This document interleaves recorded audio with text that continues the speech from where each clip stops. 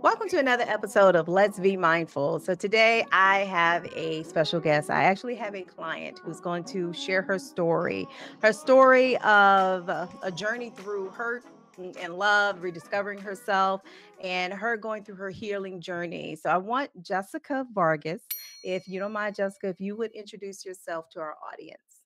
Sure. Um, well, first, thank you. Thank you for having me, Vee. Um, my name is Jessica Vargas, and I am on I'm a single empty nester on a journey to find um, my purpose and what brings me joy and happiness and creating the life that I want. So, as uh, my professional career, I, I do, I'm an IT project manager uh, for a bank and I sit on several boards within the community. One is the Gulf Coast Minority Chamber, um, which I put the emphasis on supporting and uplifting small businesses. So. Mm-hmm. Well, thank you. And the reason why I wanted you to come on this show because I do believe your story needs to be heard.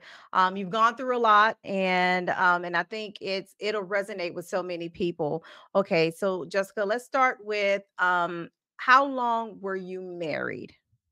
Okay, I was um, married legally for 22 years. Okay, now how many years were you with him? Um, probably a, it was a year when we started dating when he proposed, and a year later, so 24 total. To Wow. Okay, with the same person now. Um, I'm gonna say, girl, instead of using his real name, let's just call him. We we're just gonna uh, say ex-husband. Okay, we just gonna. I don't want to put his real name out there. We're gonna keep That's the personal fine. identifying information private. Okay. So in your marriage to him, um, would you say that it was a happy 22, 24 years? No. no. Um, okay. there was happy times. Um, okay. but um the mm, the toxic areas of our marriage were probably greater than the good times. Okay. So I know that since your divorce, because you're newly divorced, and I really want to deep dive into the marriage.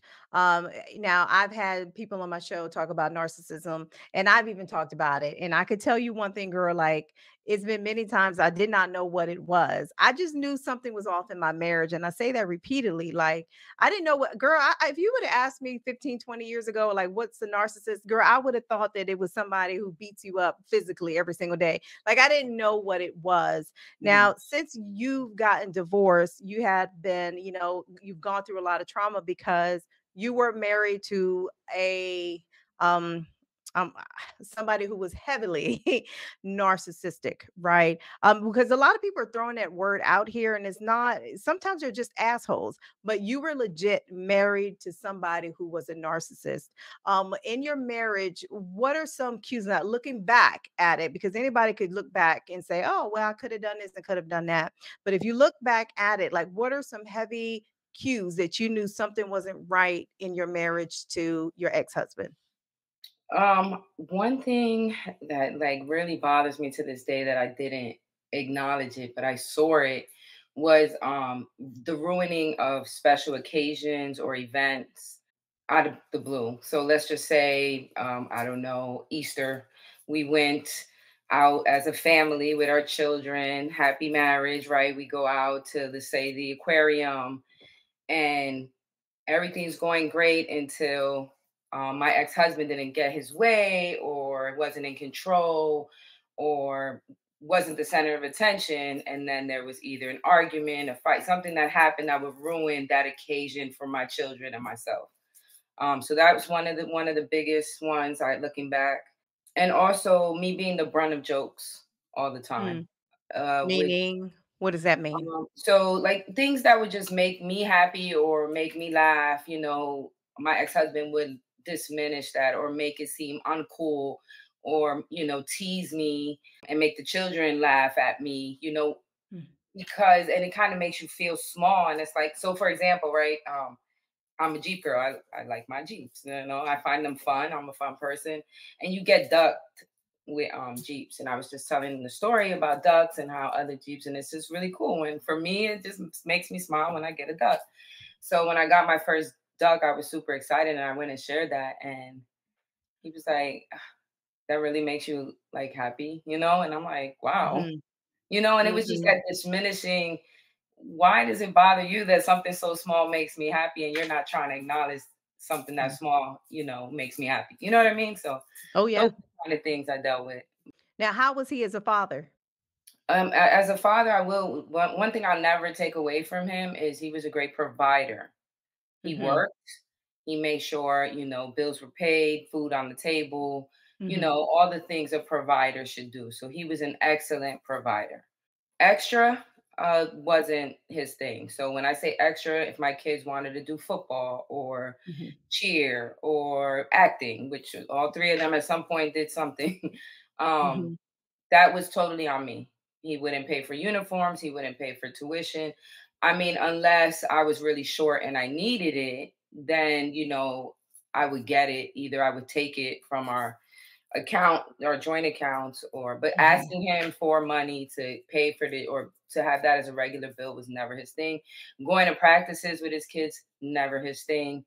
Going to their games or their, you know, work was always priority. I know you and I talked about and I don't know if you remember this, um, even though Jessica is a client and has been a client, I have known Jessica a very long time. And when we used to live near each other, um, uh, in the same state, we no longer live I don't we neither one of us live in that state anymore. But the one memory I would have of you many years ago, because you left, you know, the state of Maryland a long time ago, Mhm. but we used to go to Zumba. Remember? We used to go to Zumba and we Mhm. actually met in um an exercise class. It was about That's great. 16 years ago because my youngest son is 16 now. And but I remember we would go to Zumba. We love Zumba. And a couple of times I would ask you to go, uh, and you would say, Yes, I would go. But then you would hit me up right before Zumba started, and he didn't want you to go to Zumba. And I, for the life of me, I because I'm, you know, I'm really close to my father, and I would tell my father, I'd be like, huh, is it a cultural thing? You know, because you know, I'm like, she, but she wanted to go. And I noticed that I'm like, something might be a little off Mhm. because eh, Zumba brought you joy and then you wanted to go. And then all of a sudden, I don't know if you shared that with him. And then he was like, no, you can't go, you know, stay big like me. Like, I don't know. You know, I just Mhm. don't know how Mhm. that was. But do you remember those days, Jessica? Yeah, absolutely. Um, that was all my marriage. I think, you know, and you know, part of it, and I get, and we'll probably get into it more, is I had to do a lot of self discovery about myself. You know, because he is a narcissist. He was and still is. Um, but I had to also come to a healing to understand where I was allowing certain things to be done to me or behaviors, and I've made them acceptable.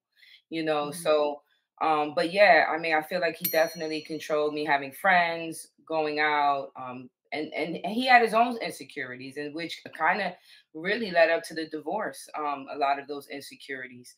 Was one of the insecurities is because he was super short?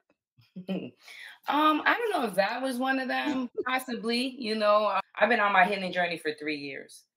Okay. Um, Mhm.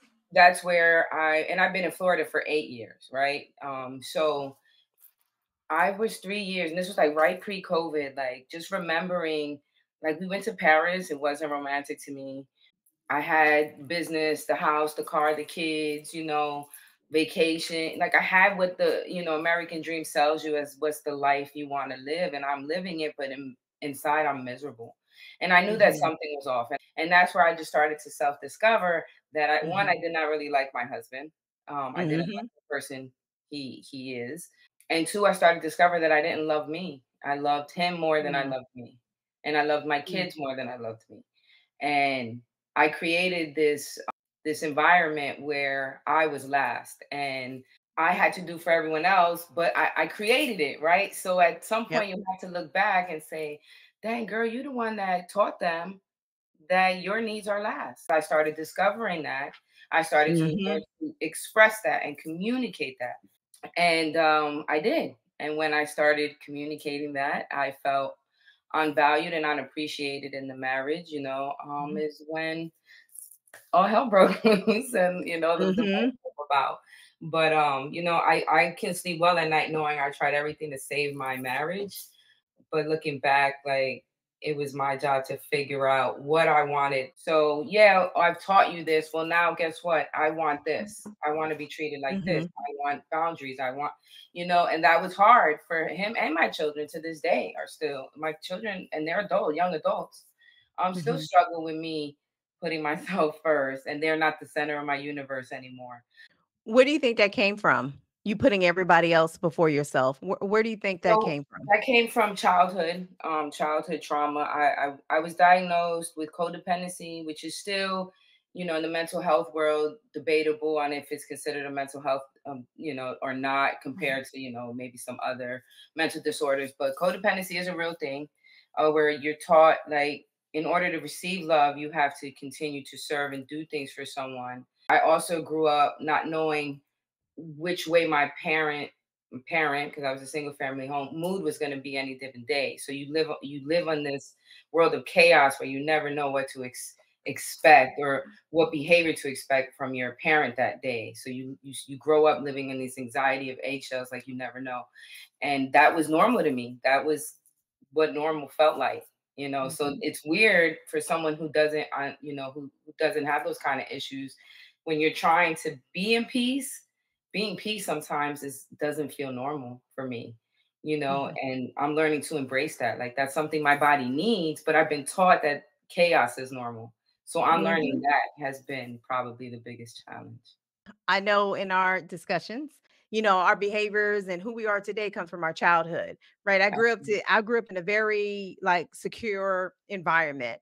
Um, my mom and dad are still married. You know, I had a secure growing up. You know, I knew, you know, my mom and dad loved me, they were there for me. But then I got divorced from a narcissist.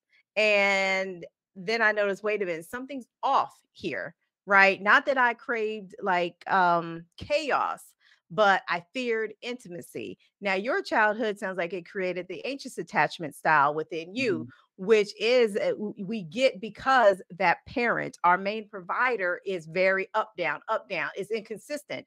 And Mhm. so it creates in us, like, I mean, you think when somebody's very inconsistent, it's going to make you have high anxiety because it's like, uh, I don't know what to do, Mhm. you know, because your your whole world you're depending and the thing is you're depending on that person and because you're Mhm. depending on that person to fulfill your needs, they create within you an anxious attachment style. Correct. So in your marriage, would you say that, you know, um, that was reflected in your marriage? Like, were you up and down, you know, like um his moods would dictate your mood kind of because if he was a certain way, did you then feel a certain way because he felt a certain way? Yeah, absolutely. And and that was something else I had to I'm learning, I'm still learning as a codependent is I'm no longer I'm not responsible for anybody else's emotions or how they feel about decisions that I make about myself. I lived a life where I made decisions based on how someone else felt about it. If my friend invited me to the gym to go and I knew it was Mhm. gonna upset him, then I would not go because I didn't I wanted to keep the try to keep the peace at home. So yeah, it definitely dictated a lot of relationships, my career, things I wanted to focus on, you know, helping build his business when I could have been focusing on my own career, you know, and tho- those are just different things because, you know, I didn't want to, um, you know, rock the boat. I wanted to Mhm. continue, you know, having what I wanted was like a perfect family. And, and I know that's unobtainable, right? But that was something that I had desired. I wanted the house with the kids and a lovely family. But, you know, it was all, all a facade. I created this fake, you know, smoke and mirrors what people would see as my family and Yep. see me go to church on Sunday and and Mhm.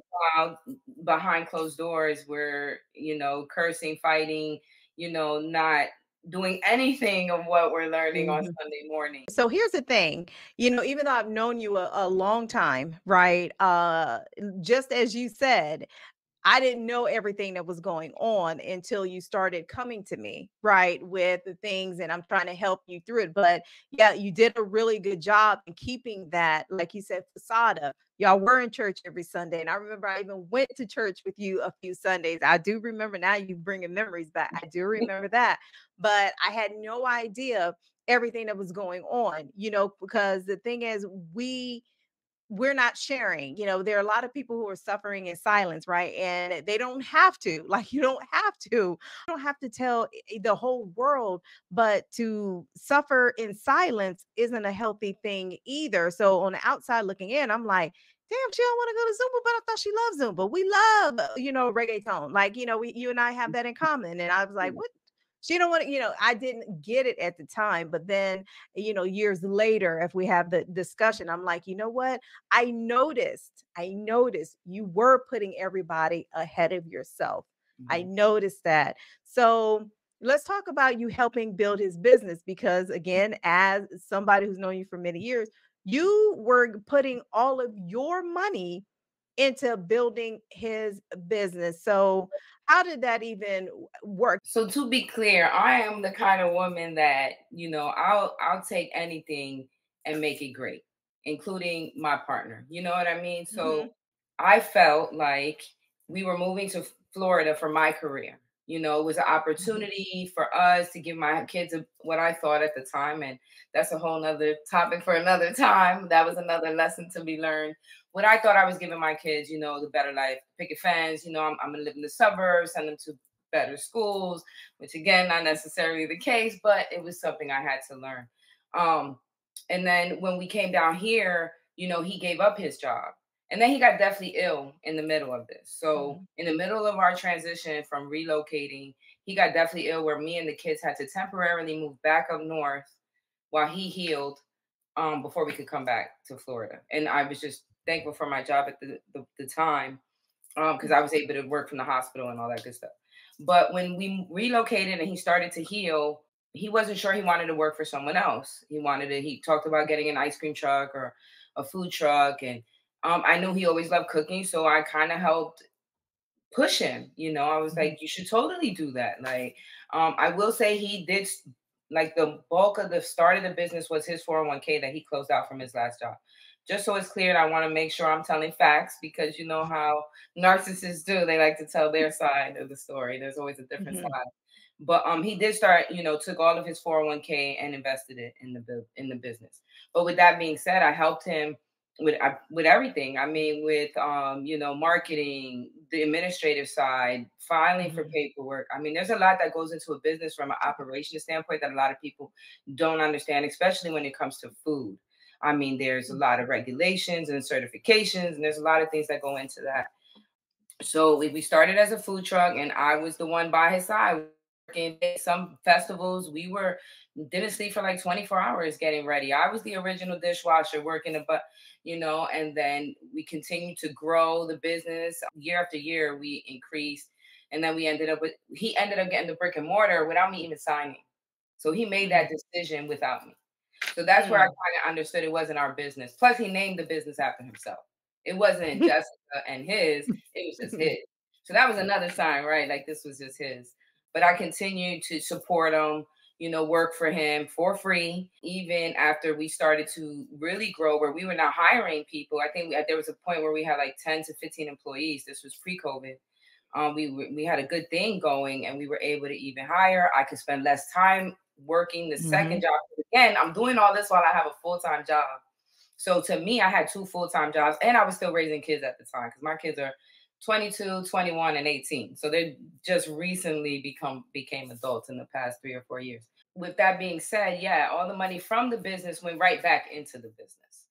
Now, to be clear, I had access to the business account, so I mhm, definitely took funds when I needed them um, to pay bills when I was short or to, to cover my daughter's cheer expense if I had to. mhm, Um, but I mean, he would bitch and complain, but he would get over it quick because we had the funds. It wasn't, I wasn't mhm, getting paid. Then last September 2022, he introduced me to a woman that he met um, where he got his oil changed to hire her mind you, I've been fighting with him to pay me, right? mm. Pay me to, you know, he got put on the book, so he ended up starting eventually getting paid then through payroll through the business. Um, and I still wasn't getting anything from the business. Okay, no, Mhm. let's talk about it. You now you said that he he introduced you to this woman. Um, do you think at that time, like they were having an affair or working together led to an affair? I don't know. And honestly, after like months after the divorce, I still keep hearing different rumors that that's not the woman. It was actually our employee that I personally knew. So honestly, I don't even know what to believe anymore. But what I do know is that um, I took him to marriage counseling through my journey. I was like, look, I don't feel valued and appreciated. And if we don't do something, this marriage is going to end. So, in true narcissist fashion, he agreed to go to marriage counseling to be in attendance, not to really do the work. I'll, I'll never forget the, the the when I found out about the affair. So, Columbus weekend, what artist was it? Mary J. Blige was performing the weekend after my birthday, which was like uh, the 14th, 15th, I don't know, that weekend. And I had mm-hmm. told him, let's go for, away for the weekend. New Orleans is only mm-hmm. three hour drive from here. Take me to see Mary J. Like, we'll have a, you know, we'll have a nice little weekend. It's my birthday. Like, mm-hmm. he comes home maybe a few days after I tell him about the concert and he books a food truck gig that the same weekend. Mm. So what did I do was again, I'm in my self healing, I'm in my self learning. I've expressed what I wanted and mm-hmm. he disregarded what I wanted. So I went and bought me Mary J. Blige tickets. I hit on his card. like I got me mm-hmm. Mary J. Blige. I went with a girlfriend and we went and we had a great time. Well, because he booked the food trip the weekend before, he made for me, that was my weekend, which was Columbus Day weekend. Originally, we were supposed to go out of um to up to DC to visit family. But with Thanksgiving coming, I canceled the trip and was like, you know what? Let's just go up there for Thanksgiving. Mm-hmm. Um, so we ended up doing a staycation, staying local. And the whole time, he did not want me to let his man, our manager of the restaurant, know that we didn't go to DC, which I found really weird because I'm like, like why? Like why do you give a f where uh-huh. she, where we are? We're her boss. Like I I don't understand. Mm-hmm. But I just dismissed it. I didn't think nothing of it. Um, but we spent that weekend together um, and we came up with a plan for our future. We were going to get the business ready to sell and um, buy commercial property that was a multiple businesses so we can like like mm-hmm. be owners of a property like a strip mall right mm-hmm. and we could get income that way which would take there's a lot of manual labor that goes into a restaurant business and catering that's a lot of hard manual labor and he was a sick mm-hmm. man and i was unhappy i didn't want to live my life every weekend working festivals like dude i'm getting old too like i want to enjoy life you mm-hmm. know we've worked so hard in our lives i want to start to enjoy some of it and that was the weekend. So that was our plan. Sunday, October 9th, 2022. We left that weekend. We had a plan for our future. October 10th, the next day, is when I busted him at a hotel through GPS location with another woman. I didn't know who the woman was at the time. Mm-hmm. Um, but I was waiting for him all day because it was Columbus Day. I work for a bank, so I didn't work that day. But I was waiting for him because I was ready to get to work. Anybody who knows me, I'm a person of action. Let's get it done. Let's do it. And mm-hmm. I was ready to work that day. He had a doctor's appointment in Mobile, Alabama mm-hmm. that morning. He didn't mm-hmm. want me mm-hmm. to go with him. He was acting really different until mm-hmm. finally I was like, let me just run to the mall. Cause I also on my birthday that following Thursday, I was getting inducted into the Gulf Coast Minority Chamber Board of Directors. So I wanted mm-hmm. to get an outfit, you know, look nice for that day. It was my birthday. Mm-hmm. So I mm-hmm. went to the mall and something, and, and to this day, I'll say it's God, universe, whatever, told me to mm-hmm. check his location. Mind you, mm-hmm. this is something I do on a regular. Like I really thought he knew what he had. Like at this point, we're getting older. What do we got to be doing to be messing around? Mm-hmm. Sure enough, he was at uh, what was it? A, a Days Inn, Days Inn in Mobile, Alabama. Mm-hmm. And you know, the toxic Jessica was like, "No, this mother effer isn't." And I got in my car and I started driving to that location. Mm-hmm. And what you could tell his location was off because I had to move for an hour. My phone calls kept going to voicemail, so I just started heading that way. Well, I had the GPS up on my car, and I saw he started moving.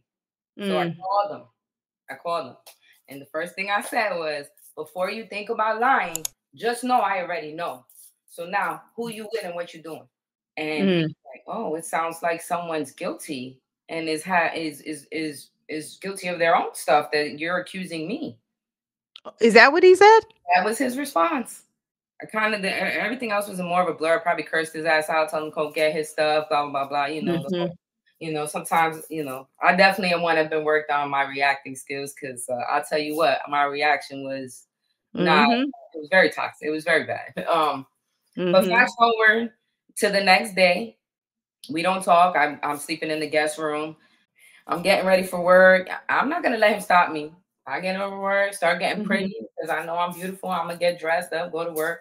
Mhm. Um, and then I started playing a song. I should have cheated by Keyshia. Cole. While he's in the bedroom, I'm in the bathroom, like the master bathroom. Like I went in there to get ready. I know I'm petty as hell. But he goes, he he- then he gets up, starts getting ready for work, goes to his car, comes back. Mind you, he didn't get home the, that night. When I called him at the hotel, it was probably like 4 p.m. ish. He didn't get home till Mhm. like 9, 10 o'clock that night.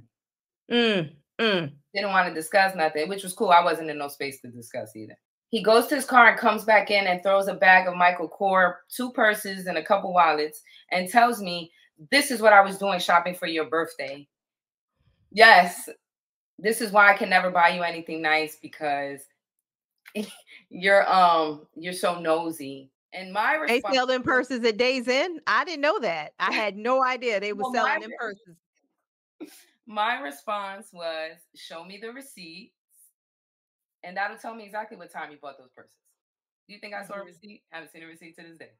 Now, everybody out there, I mean, if you wanted Michael Kors purse, you know where to go. Days Inn in Mobile, Mobile, Alabama. Ain't that what Forrest Gump said? Oh my gosh. Okay, Yeah. so now wait, I want to back up because you said something. You said um he didn't want somebody to know that y'all were going to DC. Is that's who he was in a hotel with? to this day, I can't confirm whether it was the other chick that he wanted to hire in September or if it was our manager.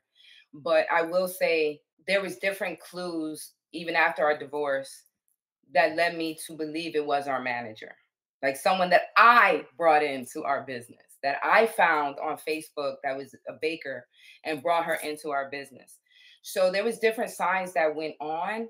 You know, like he had her laptop our photographer for our family pictures had a balance and um in order to get all the pictures. Mind you I, I had already paid like three or five hundred dollars or whatever it was to hold the session. If he wanted it we had to pay i forget what it was a couple more hundred or whatever. He post she he, my photographer posted pictures. I guess he did a photo session for my manager at the time of the business. Her daughter sweet 16 the one that he's alleged had the affair with for me that was wait you're paying our family balance so that she can have access to our photographer make it make sense Have you ever talked to her um at all since so she since was actually the first person i called when i found out he was in a hotel with another woman and what happened? joe have affair no that was her response So she's never owned up to it. No, and he never has. Well, he never denied it. So there's a couple more things that happened. Like there was a, a festival. Mind you, we both work in the community, so we're bound to see each other. But this particular one was a Latin festival. I'm big in the Latin community, especially sitting on the board of the Gulf Coast Minority Chamber. I tend to attend Latin events. Well, this particular event, my best friend was coming to town, who's friends with him, still friends with me. And we agreed to just be cordial that, you know, because my niece's his sister with which is my ex-sister-in-law with her kids, you know, then my nieces and nephews were in town. Mhm. But when I was around him and the food truck and the food tent, she kept looking at me evil. And again, I'm oblivious. I didn't even think it was her. You know what I'm saying? But she's grilling me and rolling her eyes at me. And and and, I, and that's when it hit where I'm like, why is she so mad at me? What did I do to her? Like I couldn't I couldn't figure it out.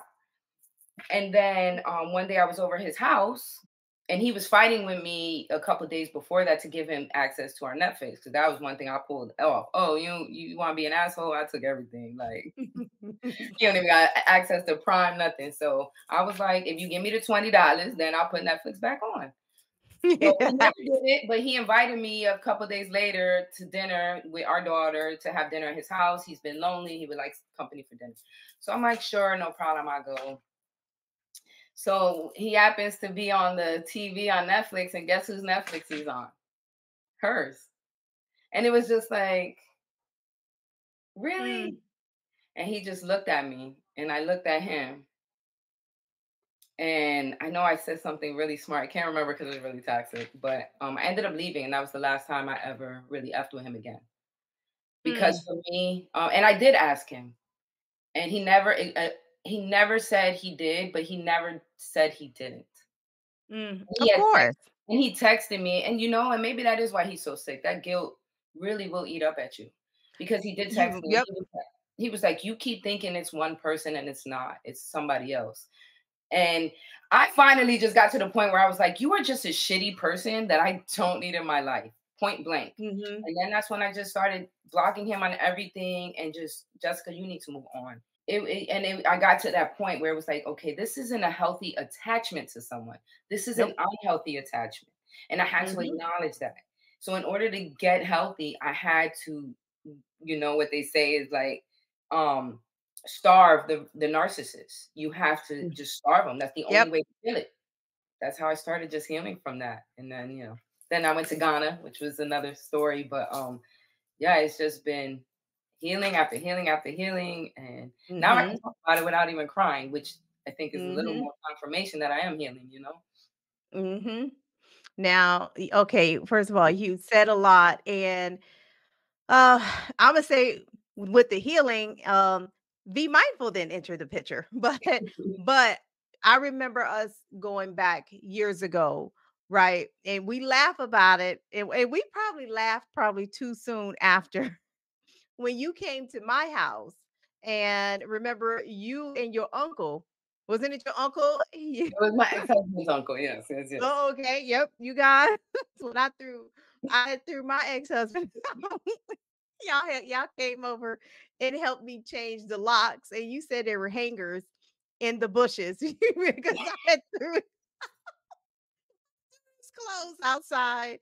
I didn't give a damn what the neighbor saw. Girl, I just I threw them outside, Mhm, and y'all came and changed the locks for me, and that was actually the second time that um because the first time I had to, I hired a professional locksmith and then years later I didn't know where he was. I just know he didn't come home. And that's mhm. when I called you and y'all came over and changed the locks. So and I remember when I actually physically caught him cheating and I felt like I had to say my words to her because she was somebody who was at my wedding. Her, you know, he was that was his supposed best friend, right? um, and somebody I had welcomed into my home. So I understand the betrayal to, you know, somebody like her. And that's why I don't have respect for you, you know, the other, like the other woman. He had a Yeah, whole family.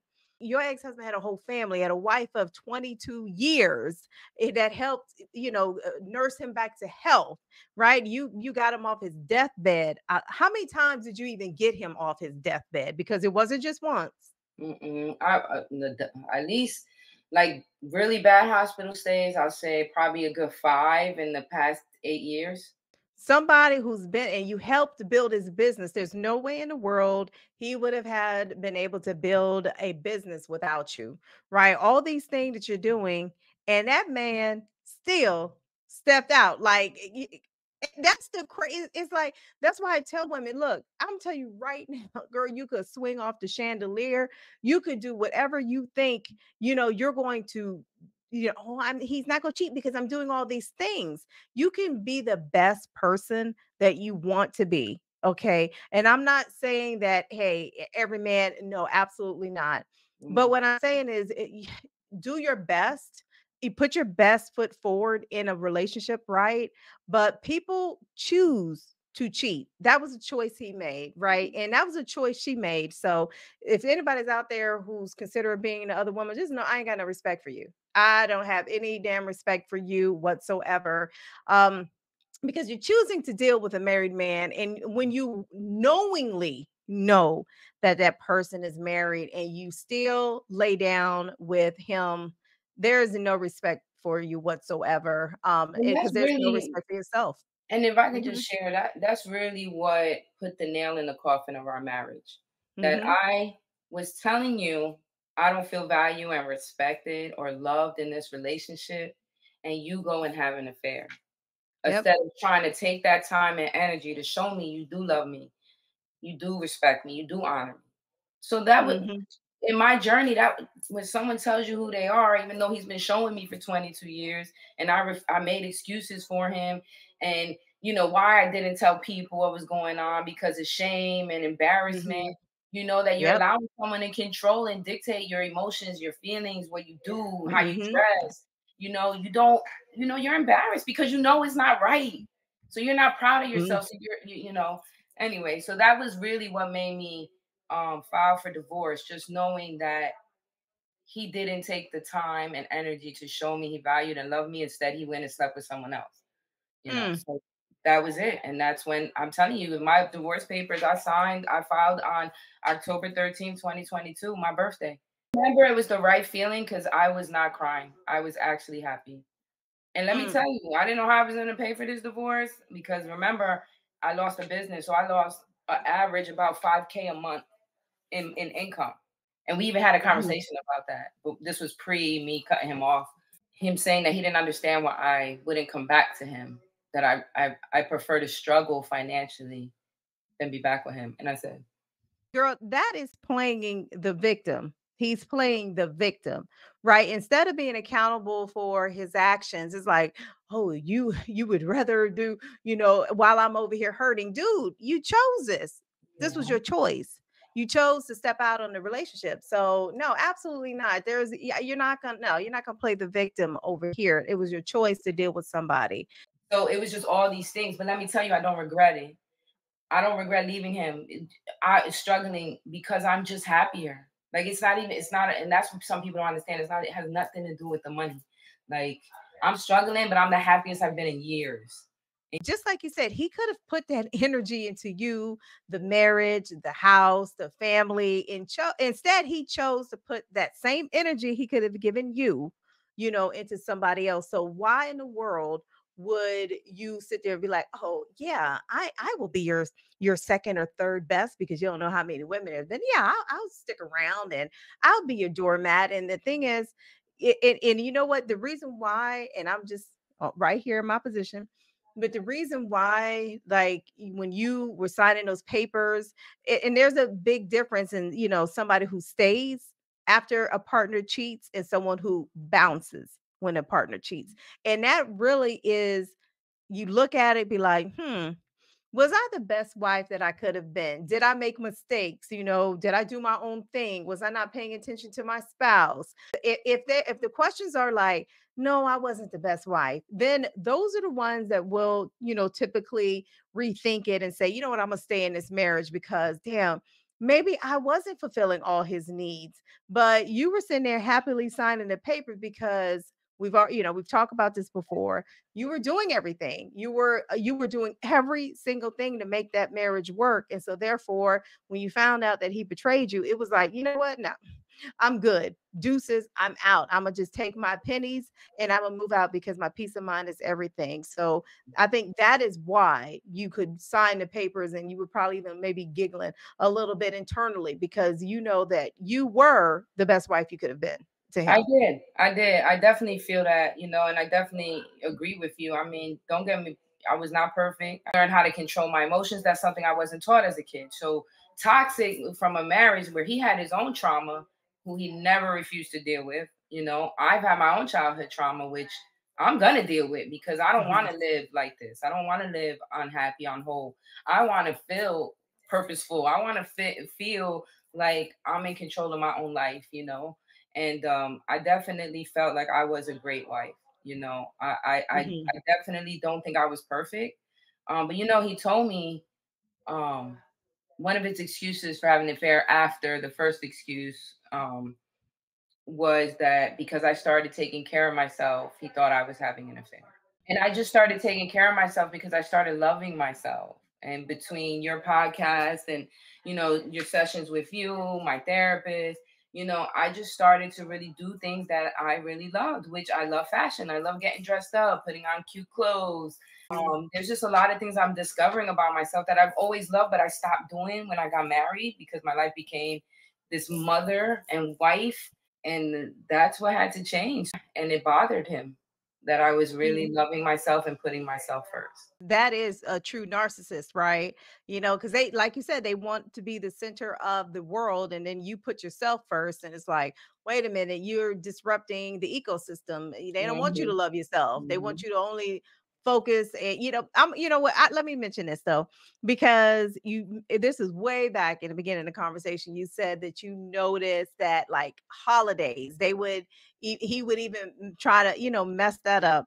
And you, girl that would that was a red flag that i missed too you live and learn. So let's talk about the living and learning part because Jessica today is not the same Jessica that was in the marriage, not even the one from a year ago. Just like I'm not the same person I was, you know, in my marriage 10 years ago, right? We live and we learn. So, what are some lessons that you have learned about yourself that you know that you are not going to repeat again? Well, one thing, um, I'm definitely going not settle. I won't settle anymore. Um, I'm definitely, you know, I still believe in love and the fairy tale romance because I'm just a Mhm, romance kind of girl. So I definitely believe in that, but I'm not gonna settle. And if you know I don't find it, then I don't find it. But I'm learning to love being okay, just being by myself. That in itself is rewarding as someone who's been raised as a codependent and didn't know how to be alone. So mhm, that's one thing I will never go back. Like now, I'd be like, oh my gosh, my mom and my daughter driving me crazy. Like I need my own place, you know. But mhm, that's one thing I, I think I'm I'm so happy. I'm I'm learning. I'm still in the process. You know, do I get lonely sometimes? Sure. Um, but I've learned that you know through yoga, meditating, reading. Um, there's just so many avenues to help you when you're feeling those emotions of loneliness. And I, you know that I think there's just so many resources out here for anyone to not really um, grow.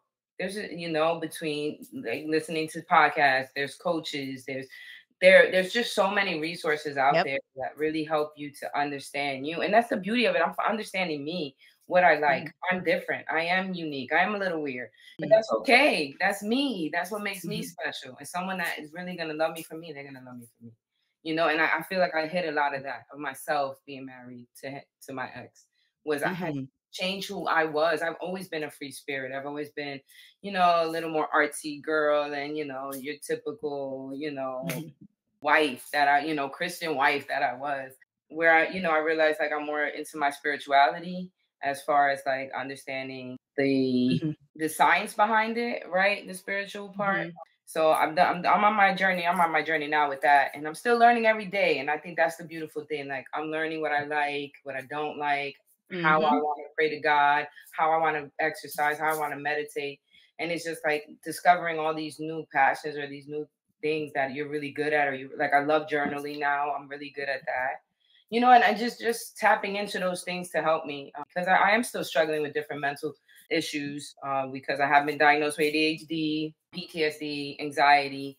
Um, so those mhm, are all things like I'm learning to navigate, and you know, and mhm, I mean, it's it, it's still so rewarding. Like it's tough, it's hard work, but it is so rewarding, you know, because I'm understanding my brain, I'm understanding me, why I do things the way I mhm, do, why I don't do things, uh, you know, and that it's okay mhm. to say no. Right? Those are a few things that I think I've learned on this journey. There's women out here. There's a lot of people who stay in relationships just to say they have a relationship, you know, because, uh, and I'm very cautious about, oh, they've been together 35 years, but girl, them 35 years could have been in hell. We celebrate longevity, but not knowing what's going on in the marriage. And not to say that they need to put it on blast, like I said earlier, because you did a really good job when, you know, we were strictly just friends. I did not know everything, right? You did a really good job keeping up the facade going to church, pray. You know, when my sister was alive, she would tell me all the time, like, I will go to church.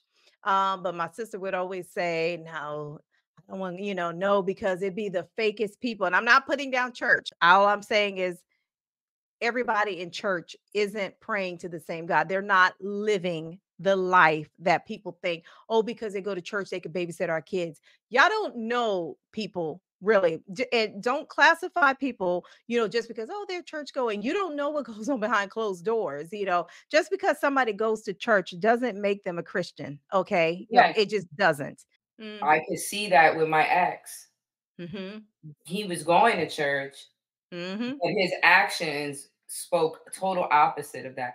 And that that that also led me to my own journey to kind of start doing my own research on what I want. You know, why is Christianity the only way? You know, what other religions are out there? You know, if I was born in Asia, I might be a Buddhist. Like, yep. You know, so really, you know, I just started questioning my faith, and you know, I still believe in mm-hmm. God. I still pray. I no longer go to church or affiliate with a as a Christian.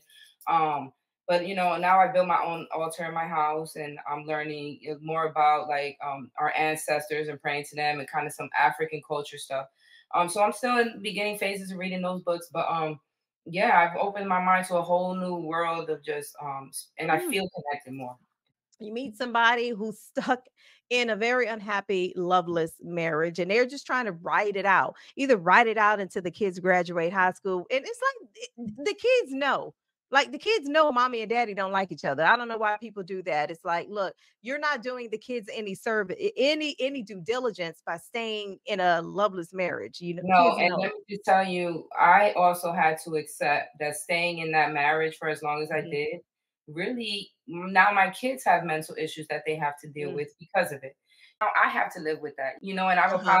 apologized to all three of my children. I didn't know better. I know better now, and I'm gonna do better because I do want healthy relationships in my life. That includes mm-hmm. my children. Um, and they're adults now. But yeah, I mean, with you saying that, that definitely resonates with me because staying only hurt my kids. Mm-hmm. It does.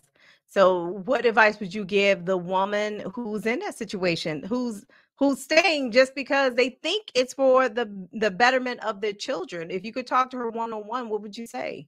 Um, the thing I would say most than anything, it, one is they create a safe space, and I think as women sometimes we don't have enough women, or we feel like we have to do things on our own because we, you know, we always try to be strong and this and that, and we just don't have mm-hmm. like what what I've learned is kind of like a sister circle, right? Where you have some women that are gonna encourage you and empower you and um, mm. but also not judge you.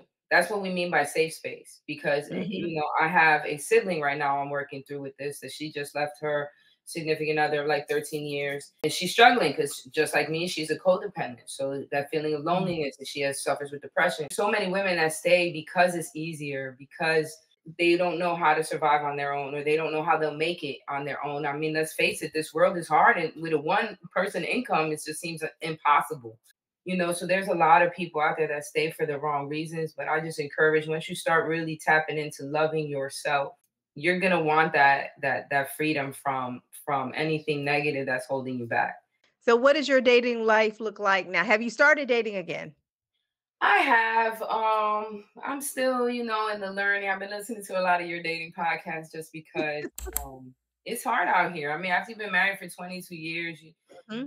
and let's face it, I got married really young. So was I ever really in the dating pool when I got married?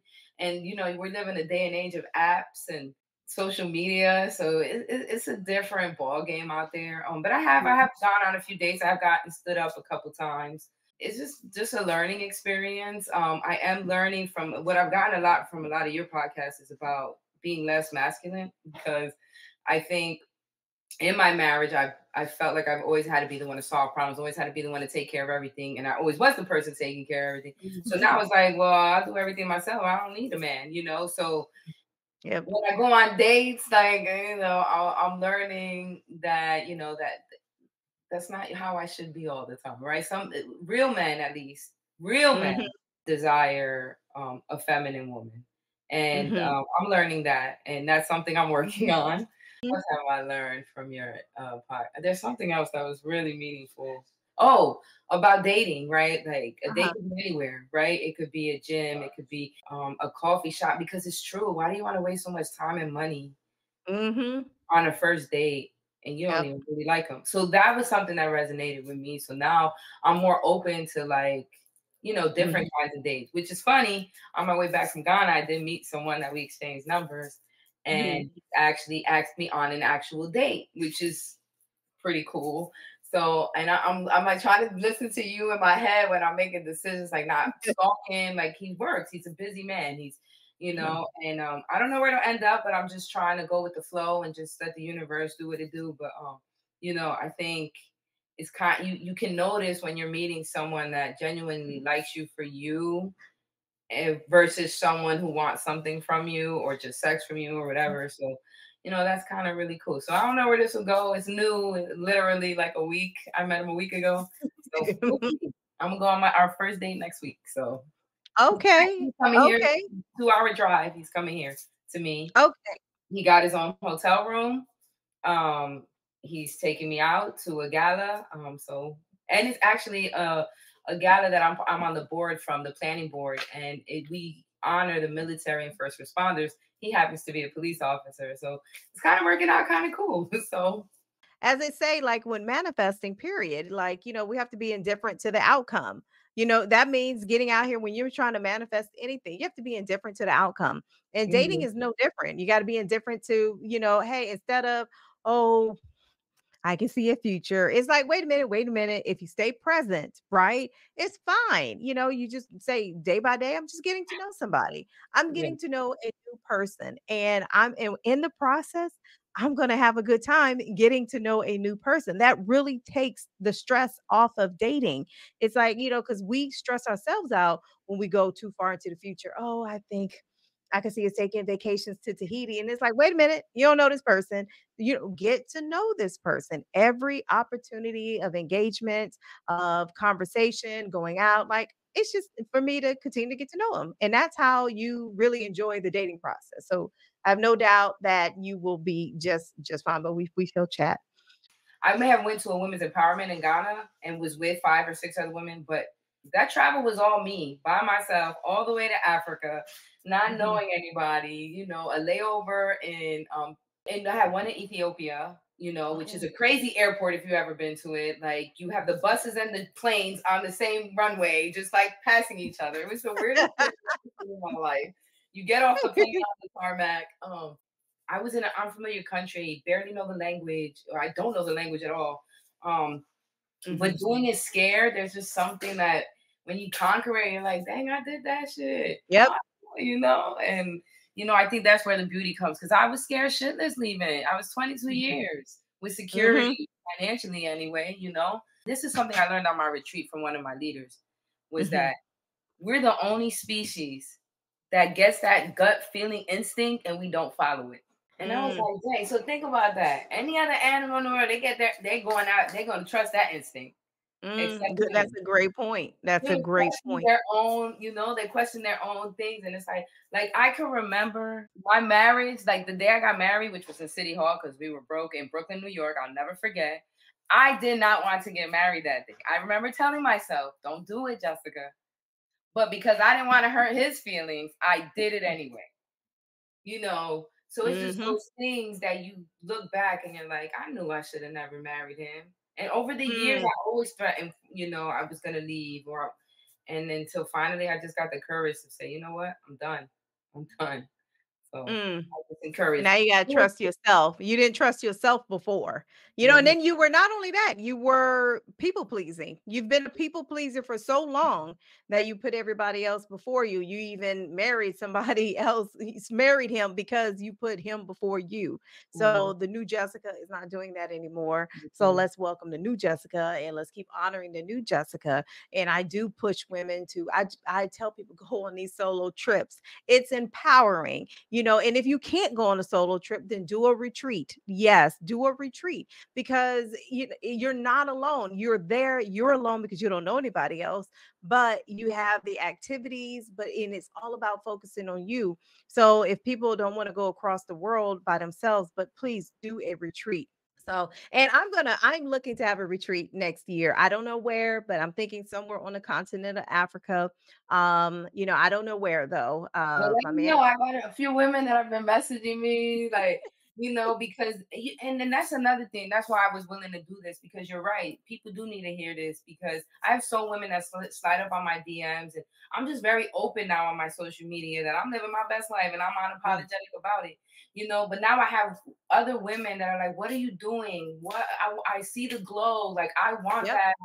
You know, and yeah, and all I can do is give them the resources that help me. No, I and I girl, I definitely that's why I asked you to be on the show because I can't because I know it's not like I know all my clients like beforehand, but I know I know you. I know you and I I yeah, remember the old you. now. 16, yeah. Yep, I remember the old you. that's always been important to me too, exercise. And my ex, who was very ill, in order to live, they pretty much told him you got to eat right, exercise, and take your Mhm. medicine because it's a combination combination of genetics, bad diet, right, and not taking your medicine. So that's why he's sick. So I would try. Let's go. Let's join a gym together. Let's walk together. Let I couldn't get him to do nothing. Nope. Not even a walk around the block after dinner. None of that. Mm. And he was on it, and he was the one that was on his deathbed. Is Mhm. Many times, as you said. So, nope, you know, I'm gonna say, Jessica, please continue to glow up. Uh, continue to honor yourself. Put yourself first, girl. You deserve it. You don't have minor children anymore, girl. You come first. Them, them babies grown. They no Mhm. longer come first anymore. They were they came first when they were two, four, and six. They not that age anymore. Well, I want to thank you again, Jessica, for um, spending your afternoon with me. So, um, everyone, thank you again for listening to another episode of Let's Vee Mindful, where we talk about everything relationships. So, until the next time, take care.